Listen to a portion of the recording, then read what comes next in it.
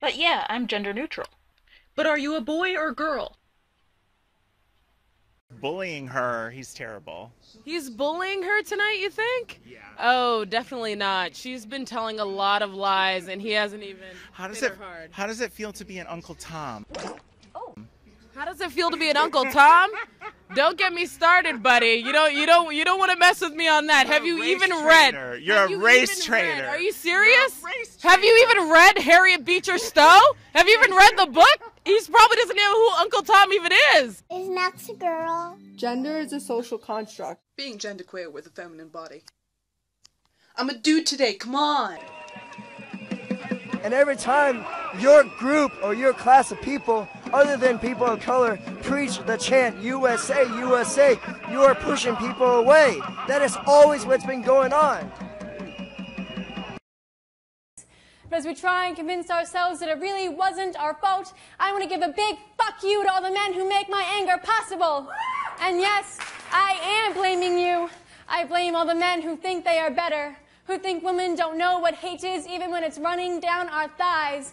I blame all the men who allow their friends to yell bitch and hoe while telling themselves that they are not like them. I blame you for the degradation, humiliation of my sisters. I blame you for every time you don't speak up because God knows that the hottest places in hell are reserved for those who did nothing. And I am almost sorry for every man who ever felt that feminism isn't important. Because if this is what feminism is, then what the fuck does that make you? If this is feminism, then what are you? Some guy just called me ma'am. Fuck that guy. But basically, let's go back to this line. One's male, ten's female, right? Your gender can fit anywhere along this line. So, let's say, um, most cisgendered females are usually around an 8. But that, that's easy enough to understand, isn't it? You can fall anywhere along this line in gender things. You could be sitting on 7.825 if you want, or 2.9873. It basically it's infinite. There is an infinite amount of genders, which is totally wicked. Now, the fat acceptance movement doesn't claim that there is no link between certain health conditions and obesity, but we claim that they're being exaggerated, manipulated, and um, there are lots of reasons for that. Some of it's related to funding, who gets funding and why, and some of it is related to body policing as well. This dude at a bubble tea shop said, Oh, I like your hair, man. And I fucking cried. Shave my armpit, shave my vagina. I'll be smoother than a newborn rat. I'll have less hair than a prepubescent Boy Scout. If I can't shave it, I'll bleach it. If I can't bleach it, I'll wax it. If I can't wax it, I will pay thousands of dollars to have a tiny laser beam kill all of my hair follicles so I'll never grow body hair again. Stupid evolutionary development? Who needs you? Not women. Shave my upper lip, shave my eyebrows, shave the bottoms of my feet. Look at me. I'm a pretty hairless decoration. We fall. An injury to one is an injury to all. United, we stand. Divided, we fall. An injury to one is an injury to all. Yeah! That's an interesting shirt there. The future is female. Yes, it is. What does that entail exactly? This is a this is from the feminist movement in the 60s and the 70s. Right on, sister. Yes. Wealthy and so we need to remember that convince dividing the civil people rights movement, against you each know, other. the, the, Ooh, the it's glare. feminist movement, it's not over. It's fluid. It's constantly that. changing. It's constantly evolving. A and rich white guy we, convincing we need to poor white people, the people, the poor people of color are the problem. Yeah. And that is not okay. The equality that is now being threatened right there in that People expo don't center. understand that. Yet. NAAFA doesn't allow diet talk at its meetings. They believe health and size are two separate issues. I think by making health and weight the same thing and by confusing those two, we're damaging everybody because fat people are then the enemy. Respect my fucking pronouns. I love me some allies. You do work that I can't do. You support me in my missions. You treat me with dignity and respect. You're not scum. And that's awesome. But some of you aren't doing so great.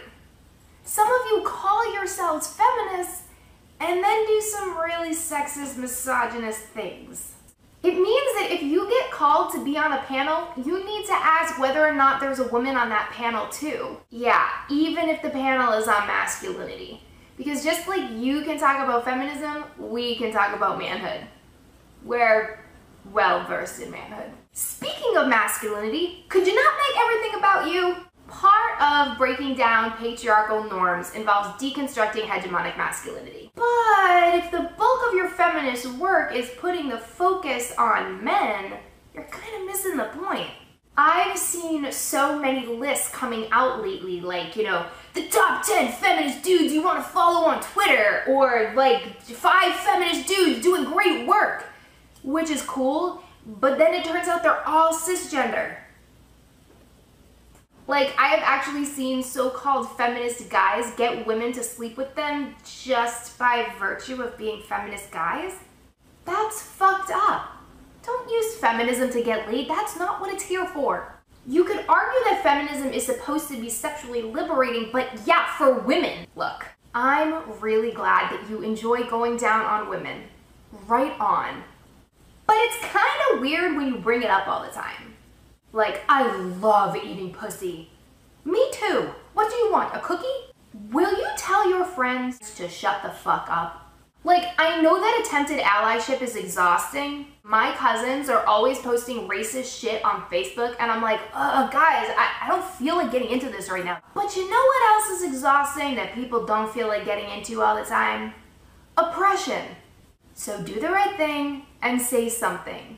Hey dude, maybe when you talk about your girlfriend, you shouldn't sexually objectify her.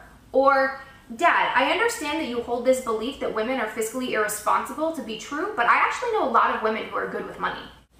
It doesn't take much. When you're overly cautious, you're treating us like we're fragile or on the verge of exploding, which is actually really sexist. Trump supporters right here. Man, fuck you guys and fuck Trump. What's up? Fuck you guys, Trump supporters. Fuck you. What you guys gonna do, bitches? You all pussies. Fuck Trump. Fuck Trump. Fuck Trump. Look at this pussy. Fuck Trump. Look at that pussy ass supporter. Fuck Trump, you piece of shit. Fuck Trump. Fuck Trump. Fuck Trump. Fuck Trump. Fuck Trump. Fuck you, Trump. You little bitch. Fuck Trump. Fuck Trump supporter. Look at this little bitch. Look at that quiet bitch. Look at that fucking quiet piece of shit. Look at him. Look at that bitch. See you on World Star, bitch. Fuck you, Trump supporting ass bitch. Yeah. Fuck Trump. Fucking pussies. Wait your turn. Wait your turn. Black privilege. You should get him back in the ring like everyone else. He doesn't know fucking mic. Give him He just wants to- Stop cutting the line. Stop cutting the line. Refuse. Stop cutting the fucking line. Stop cutting the fucking line. Wait your turn. Bitches. Milo, tell him to get in the mic. Milo, tell him to get in the mic. Okay, and I can be in here because I'm a fucking ticket. Shut your ass up. I'm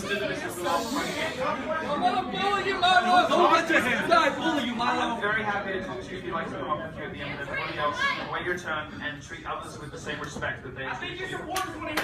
Treat, treat others with the same politeness. Nobody else is standing up and demanding special treatment. Uh, listen, You're, you're standing up and demanding special treatment now, sir. The questions are over. You're demanding to be to be heard on the basis of what? If I don't if I don't answer a question, I'm racist.